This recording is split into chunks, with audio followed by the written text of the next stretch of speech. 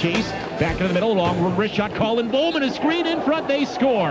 As they bump on the far board side, Calgary comes up with a puck. There's a quick shot, stop, rebound, scores. And Sylvester again. They pit each other up along the wall. LaPont can't get free as uh, Brassart tries to get it right in there. Now LaPont goes over the top of the right, trying to switch to lefts, and LaPont will be successful. He'll get a free uh, view in there, and the linesman step in. There's Bozon the other way for the Blazers. Left wing side, trying to carry in. Dangled once and then knocked off the puck as Kosterman. Blazers bull in there. There's a centering pass in front. Colin Smith scores!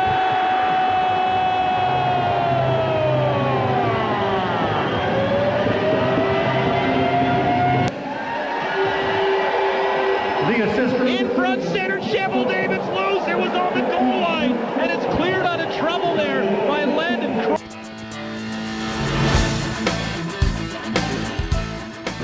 Alex Roach comes back to Needham, though. Needham behind the net, trying to free it up in front center. Still loose. Willick scores!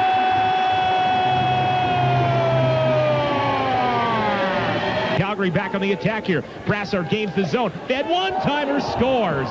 Victor Rask in tight corners. One-timer goes, and it gets through Cheveldave.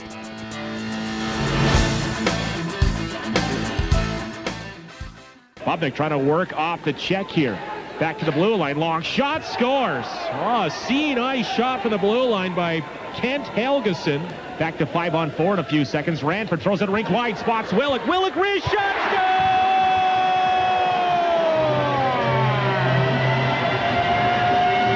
Crisscross with Bozon. Poked off the puck. Blazers changing. Bobnik has room. Here's Bobnik and fires right on goal. Big stop rebound. Another one. Loose puck. They score.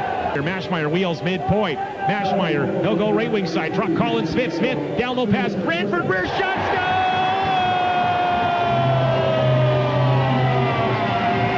25 seconds into the corner. LaPont in front center. Unable to bang it home as Herod. The pass was uh, a knee high behind the net. LaPont battles for it. In front it comes. Hitman on it. Cheek to the line. Willick jumps to keep it alive. He's going to get called in the glove ahead here.